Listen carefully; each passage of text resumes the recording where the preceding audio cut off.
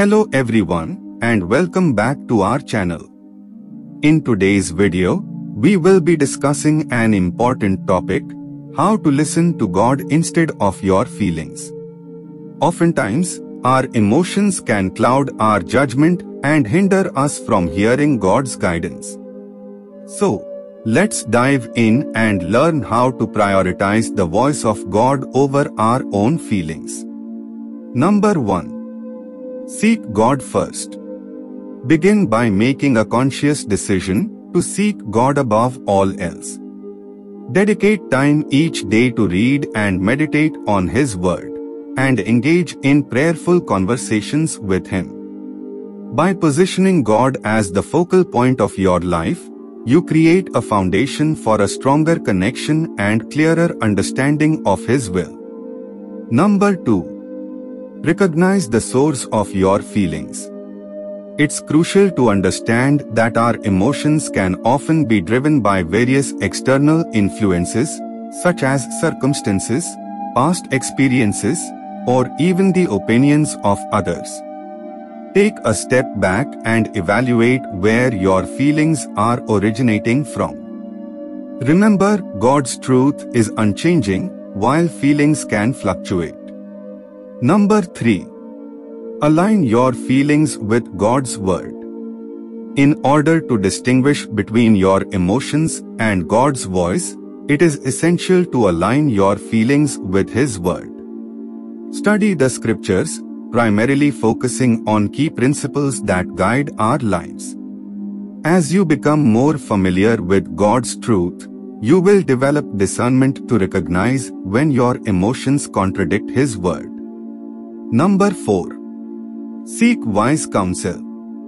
God often speaks to us through others who are walking closely with Him. Surround yourself with individuals who are devoted to their Christian journey and seek their godly counsel. They can offer guidance and help you navigate situations where your emotions may be steering you away from God's will. Number 5. Tune into the peace of God. When faced with a decision or dilemma, take a moment to tune into the peace of God. God's guidance is often accompanied by an inner peace that surpasses all understanding.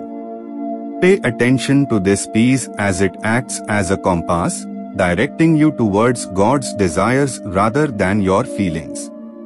Number 6. Practice surrender and submission.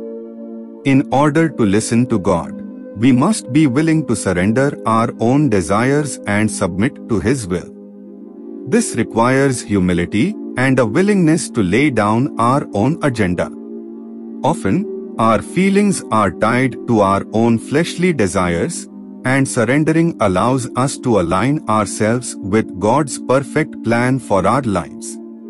Conclusion Remember, while our feelings are a vital part of who we are, they should not dictate our choices. Learning to listen to God instead of our emotions is a lifelong journey that requires patience, discernment, and a deep desire to prioritize God's voice.